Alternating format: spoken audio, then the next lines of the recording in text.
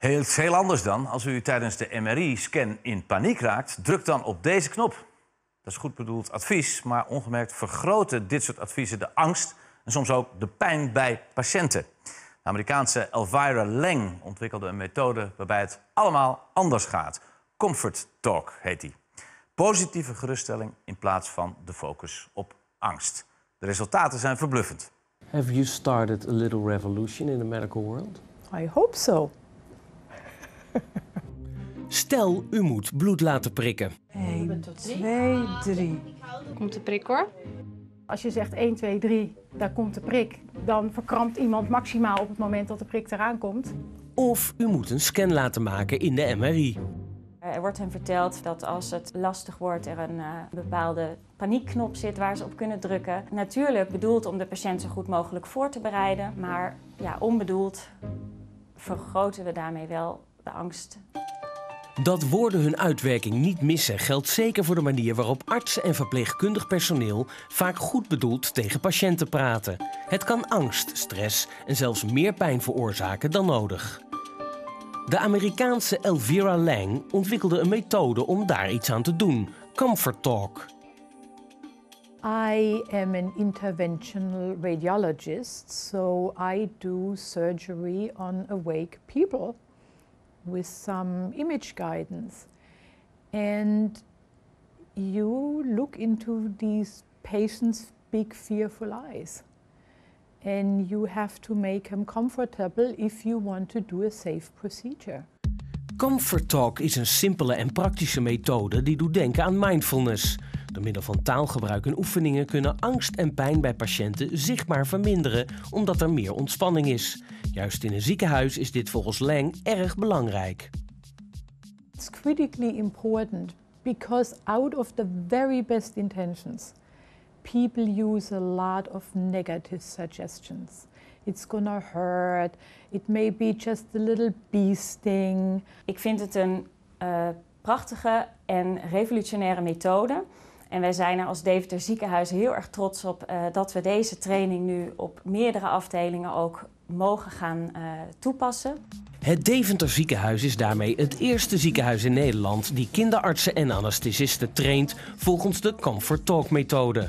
En zo leert het medisch personeel onder andere via een rollenspel om echt contact te maken en anders met mensen te communiceren. Wat kan ik doen om, om het wat lichter voor u te maken? Ja, ik weet het niet, maar het moet toch gebeuren. Maar ik wil eigenlijk helemaal niet. Dan kan ik niet gewoon weer terug. En dat valt soms niet mee. Het doet zo'n pijn. Je kan je niet voorstellen hoe angstig ik ben. Nee, ik probeer haar in een andere situatie te krijgen. Nog niet. Eerst Oh, eerst volgen. Hoe zou dat anders aangefietst moeten worden dan? Je zou bijvoorbeeld ook uh, kunnen benoemen wat er goed gaat door te zeggen van het is, het is fijn dat u zo stil ligt, want dan gaat um, de MRI sneller of makkelijker. Hè? En als, uh, als er iets is gedurende de procedure, geeft u het aan, we zullen u zo goed mogelijk helpen. Hoe belangrijk een geruststellende woordkeuze is, weet Janine Dijkstra. Zij ondergaat chemotherapie en kreeg daarvoor een infuus toen een verpleegkundige een onhandige opmerking maakte. Van, goh, doe wel voorzichtig met dat infuus, want als dat losgaat, dan kun je brandwonden op je huid uh, krijgen. Nou, toen, toen dacht ik van, uh, ja, maar als dat, als dat al dat met je huid doet, het gaat rechtstreeks mijn aderen in. Dus wat doet het dan in je lichaam? Dus ja, ik had het liever gehad dat ze had gezegd van uh, doe voorzichtig met het infuus en gaat het los. Dan uh, druk direct even op de bel. Sometimes things can hurt or they can burn. Uh, don't people have to be warned for that? So if it happens, they don't get scared? I always say you should give people the right to their own experience. If I do a procedure, I do not know what you will experience. I will tell you, I will give you this uh, local anesthetic to numb the skin. And it might be a sensation of warmth or coolness, or perhaps a delicious sense of tingling. De methode van Elvira Lang werd 20 jaar lang onderzocht en de resultaten liggen er niet om. Zo werden bij de Comfort Talk technieken 40% minder MRI-scans afgebroken door angst en claustrofobie. Ook leidde de techniek tot 22% afname van no-shows. Teterisatieruimtes werden per behandeling gemiddeld 17 minuten minder lang gebruikt wanneer comfort talk technieken werden toegepast. We found that procedures become safer, more comfortable and faster. Het werkt in Amerika, daar is het ook onderzocht. Maar werkt het ook in Nederland? Want wij zijn een stuk nuchterder, vaak wordt gezegd. Daar zijn we ook benieuwd naar. Uh, we denken het uh, van wel. Um, we gaan ervan uit dat deze technieken ook uh, in Nederland werken. Maar um, we zijn wel ook hier bezig met het opzetten van onderzoek.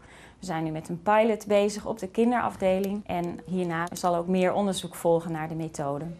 Ik denk dat het voor kinderen heel belangrijk is, omdat uh, ja, kinderen is toch een, uh, ja, een jonge doelgroep. Je wil kinderen geen trauma laten oplopen voor de rest van hun leven. Dus het is fijn als procedures die je nou eenmaal moet doorlopen op een, uh, op een hele fijne manier verlopen. Ha Nicole, Hi. goed dat je er bent. Ja. Nicole is 19 jaar. Op haar derde kreeg ze diabetes. Sinds zeven jaar komt ze naar het Deventer ziekenhuis om daarvoor te worden behandeld. Zo. Fijn dat je zo goed stil ligt, want dan zijn we vast snel klaar. Eerder werd er wel gezegd, bijvoorbeeld als een kind geprikt werd, we gaan zo een prikje geven en dat kan wel even zeer doen. Dat soort woorden proberen we eigenlijk nu te vermijden. Omdat we vroeger eigenlijk altijd dachten dat het goed was dat een kind ook grip had op de zaak. En uh, dat kinderen bijvoorbeeld zelf mochten meetellen voordat het prikje kwam. Uh, door ze op die manier een soort controle te geven. En we dachten dat het goed was om controle te hebben. En uh, nou ja, deze nieuwe inzichten laten echter een, ja, een andere kant van de zaak zien. En de manier waarop het nu gebeurt, hoe ervaar je dat? ontspannen. Ik ga altijd met uh, zenuwen erheen van oh, ik moet bloed prikken, want dat hoort natuurlijk bij als je diabetes hebt. En uh, ja, nu is het wel gewoon een fijne ervaring. Het wordt gewoon rustig verteld wat gaat gebeuren en niet van wat er fout kan gaan. De wens is om volgend jaar al het medisch personeel van het Deventer ziekenhuis te scholen in het toepassen van deze methode. Andere ziekenhuizen volgen de ontwikkeling met belangstelling. Het lijkt zo simpel, hè? Het lijkt zo simpel en daarom is deze Comfort Talk methode ook juist zo mooi. Het lijkt zo logisch uh, en dat zijn vaak uh, de methodes die het beste werken. You've been working on this for 20 years.